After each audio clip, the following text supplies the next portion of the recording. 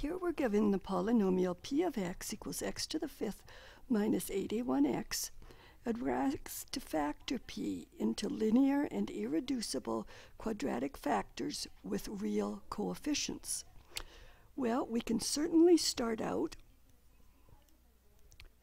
p of x has a common factor of x, so we can bring that x out, leaving us with x to the fourth minus 81.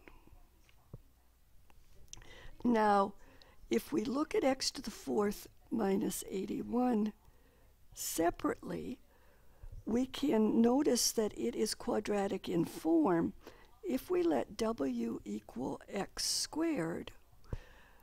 x to the fourth minus 81 is x is, I'm sorry, w squared minus 81, which factors, because it is the difference of two squares, into w minus the square root of 81, which is 9, w plus the square root of 81, which is 9. But now we back substitute the x squared for W.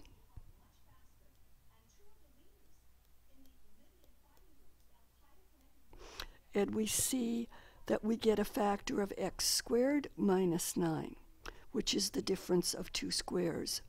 So we can factor that into x minus the square root of 9, which is 3, x plus the square root of 9, which is also 3 then we still have the factor x squared plus 9.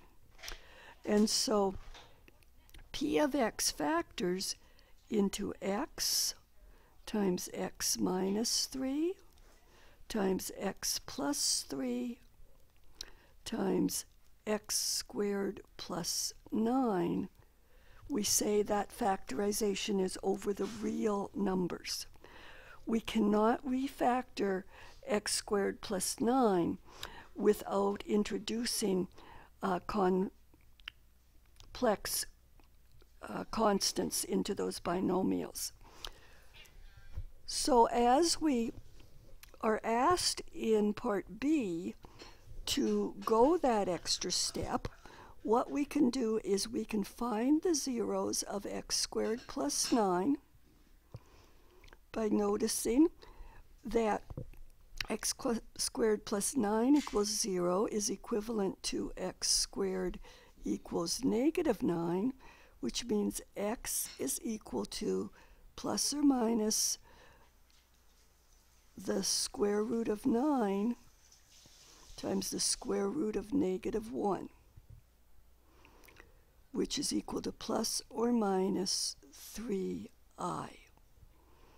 And so we can actually factor one more step. We'll have the initial three factors, the x times the x minus 3 times the x plus 3, but we will also have, because 3i is a 0 of x squared plus 9, one factor will be x minus 3i.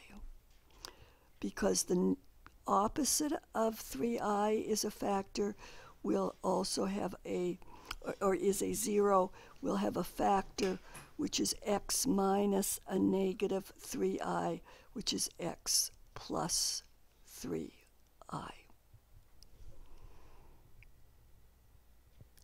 So it's a fifth degree polynomial.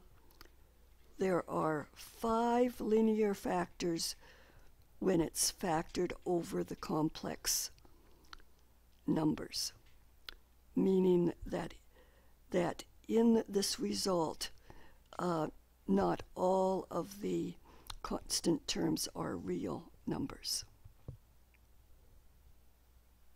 So let's go to the next example.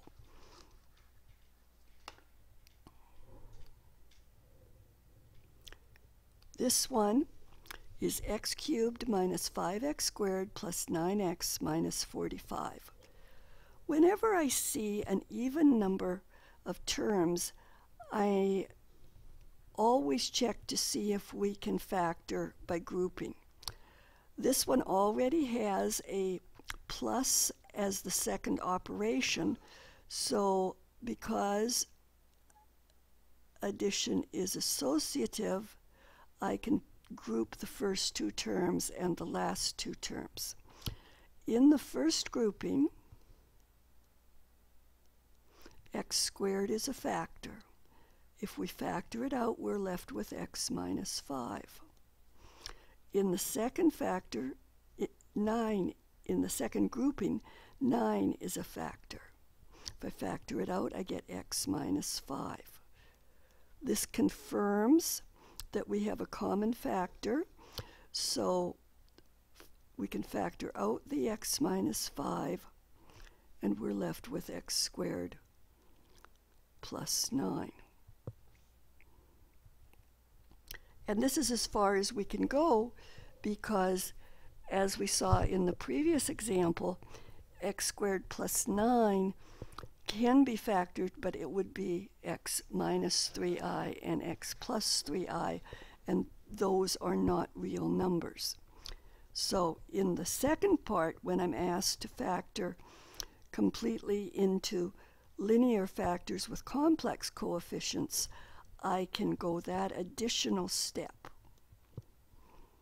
and have factors of x plus 3i and x minus 3i in addition to the x minus 5. In part A, x squared plus 9 is called irreducible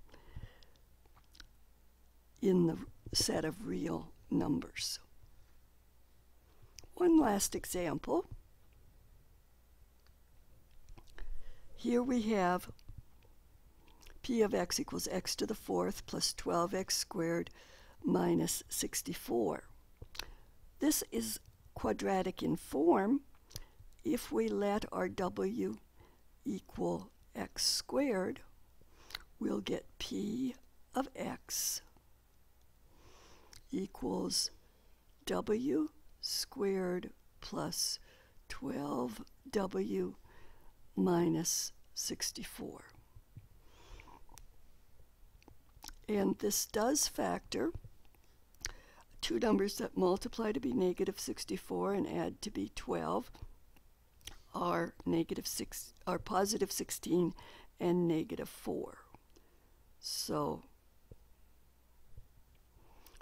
W plus 16 and W minus 4. Now we back substitute x squared for W.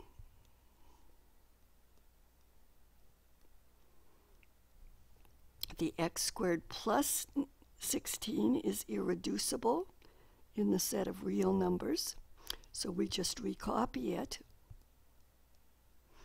but we factor the difference of squares into x minus 2 times x plus 2. And this is where we stop in part A. Linear and irreducible quadratic factors with real coefficients. Now we can go the extra step remembering that the zeros of x squared plus 16 can be found. x squared would be minus 16 and x would equal plus or minus the square root of 16 times the square root of negative 1, which is plus or minus 4i.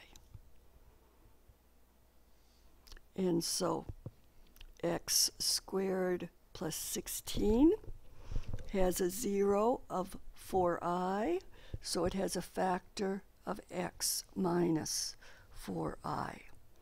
It has a factor, I'm sorry, it has a 0 of negative 4i, so it has a factor of x minus negative 4i, which would be plus 4i.